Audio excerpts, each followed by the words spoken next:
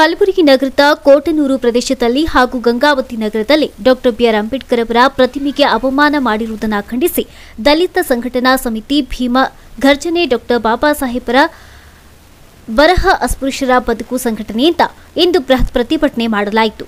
Doctor Baba Saheb Ambedkar ಅವರ ಪುತ್ಥಳಿಗೆ ಮಾಲಾರ್ಪಣೆ ಮಾಡಿದ ಪ್ರತಿಭಟನಾಕಾರರು ನಗರದ ಪ್ರಮುಖ ಬೀದಿಗಳಲ್ಲಿ ಸಂಚರಿಸಿ ಪ್ರತಿಭಟಿಸಿ ಜಿಲ್ಲಾಧಿಕಾರಿಗಳ ಕಚೇರಿಗೆ ತೆರಳಿ ಜಿಲ್ಲಾಧಿಕಾರಿಗಳ ಮೂಲಕ ಮುಖ್ಯಮಂತ್ರಿಗಳಿಗೆ ಮನವಿ ಅರ್ಪಿಸಿದರು.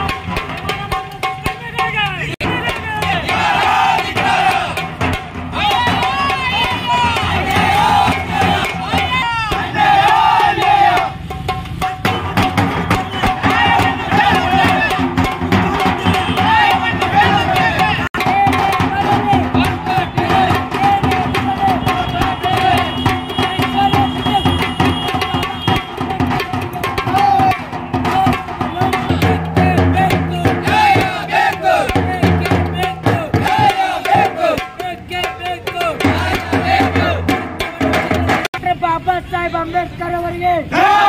ಸಂವಿಧಾನ ಶಿಲ್ಪಿ ಡಾಕ್ಟರ್ ಬಾಬಾ ಸಾಹೇಬ್ ಅಂಬೇಡ್ಕರ್ ಅವರಿಗೆ.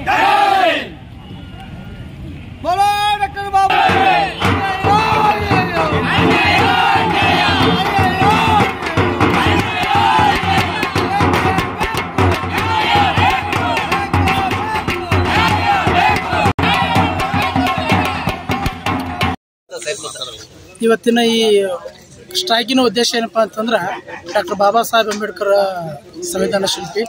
ಅವರು ಒಂದು, ಈಗ ಅವ್ರಿಗೆ ಅವಮಾನ ಮಾಡಿದೆ ಅಂತಂದ್ರೆ ಇಡೀ ನಮ್ಮ ಸಂವಿಧಾನ ಒಂದು ರಾಜ್ಯ, ಒಂದು ಜಿಲ್ಲೆ ಅಲ್ಲ, ಇಡೀ ಒಂದು ನಮ್ಮ ದೇಶಕ್ಕೆ ಅವಮಾನ ಮಾಡಿದಂಗ ಅಂತ ಅಂತ ದುಷ್ಕರ್ಮಿಗಳ ವಿರುದ್ಧ ಇವತ್ತು ನಮ್ಮ ಹೋರಾಟ. ಅವ್ರ ವಿರುದ್ಧ ನಮ್ಮ ಧ್ವನಿ ಅಷ್ಟೇ. ಕಾರಣ ಅಷ್ಟೇ ನಾವು ಮನವಿ ಕೊಡೋ ಕಾರಣ ಇಷ್ಟೇ ದೇಶಗಳು ಈ ಕೂಡಲೇ ಅಧಿಕಾರಿಗಳ ಮೇಲಾಧಿಕಾರಿಗಳು ಈ ದುಷ್ಕರ್ಮಿಗಳ ವಿರುದ್ಧ ಕಾನೂನು ಕ್ರಮ ಸೂಕ್ತವಾದ ಜರುಗಿಸಬೇಕಂತ ಕೇಳ್ಕೊತೇವೆ ಆಗಿಲ್ಲ ಅಂತಂದ್ರೆ ಇದರ ಮುಖಾಂತರ ಇನ್ನು ಮುಂದೆ ಉಗ್ರವಾದ ಹೋರಾಟ ಮಾಡ್ಲಿಕ್ಕೆ ನಾವು ತಯಾರಾದೇವೆ ಅಂತ ಈ ಮನವಿ ಮುಖಾಂತರ ಹೇಳ್ತೇವೆ ಅಂಬೇಡ್ಕರ್ ಅವರ ಪುತ್ರಿಗೆ ಅವಮಾನ ಮಾಡಿದ್ದನ್ನು ಖಂಡಿಸಿ ಕರ್ನಾಟಕ ಸಂಘಟನಾ ಸಮಿತಿ ಭೀಮ್ ಗರ್ಜನೆ ವತಿಯಿಂದ ಈ ಸ್ಟ್ರೈಕನ್ನು ಹಮ್ಮಿಕೊಳ್ಳಲಾಗಿತ್ತು.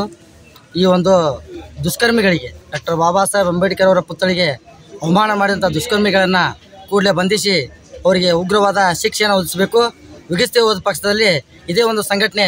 ಇವತ್ತು ಏನು ಮನವಿ ಕೊಟ್ಟಂಥ ಸಂಘಟನೆ ಇದೆ. ಕರ್ನಾಟಕ ಸಂಘಟನಾ ಸಮಿತಿ ಭೀಮಗರ್ಜನೆ ಸಂಘಟನೆ ಇದೆಯಲ್ಲ, ಇದೇ ಸಂಘಟನೆ ಮುಂದಿನ ದಿನಮಾನಗಳಲ್ಲಿ ತಮ್ಮ ರಕ್ತವನ್ನಾದರೂ ಚೆಲ್ಲಿ ಉಗ್ರವಾದ ಹೋರಾಟಕ್ಕೆ ಇಳಿದ ಕರ್ನಾಟಕ ಸರ್ಕಾರಕ್ಕೆ ಒಂದು ಮನವಿಯನ್ನು ಸಲ್ಲಿಸಿ, ಇನ್ನೂ ಮುಂದಿನ ದಿನಮಾನಗಳಲ್ಲಿ ಅಗದಿ ಎಚ್ಚರಿಕೆಯ ಸಂದೇಶವನ್ನು ನೀಡಲಿಕ್ಕೆ ನೀಡ ನೀಡುವಂಥ ವಿಚಾರದಲ್ಲಿ ನಾವು ಇವತ್ತಿನ ದಿನ ಸ್ಟ್ರೈಕನ್ನು ಹಮ್ಮಿಕೊಂಡಿದ್ದೆ ಹಮ್ಮಿಕೊಂಡಿದ್ದೀವಿ.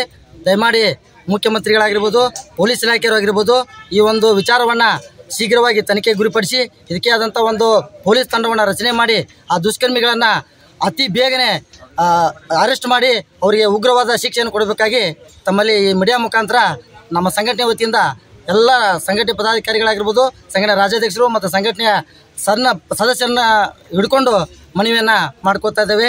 ಜೈ ಹಿಂದ್, ಜೈ ಭೀಮ್. ಡಾಕ್ಟರ್ ಬಾಬಾ ಸಾಹೇಬ್ ಅಂಬೇಡ್ಕರ್ ಅವರ ಪ್ರತಿಮೆಗೆ ಅವಮಾನ ಮಾಡಿದ ದುಷ್ಕರ್ಮಿಗಳನ್ನು ಕೂಡಲೇ ಬಂಧಿಸಬೇಕು. ಕೂಡಲೇ ಒಂದು ವಿಶೇಷ ತನಿಖಾ ತಂಡವನ್ನು ರಚಿಸಿ, ಆರೋಪಿಗಳ ಬಂಧಿಸಿ ಅವರಿಗೆ ಜೀವಾವಧಿ ಶಿಕ್ಷೆ ನೀಡುವಂತೆ ಪ್ರತಿಭಟನಾಕಾರರು ಆಗ್ರಹಿಸಿದರು.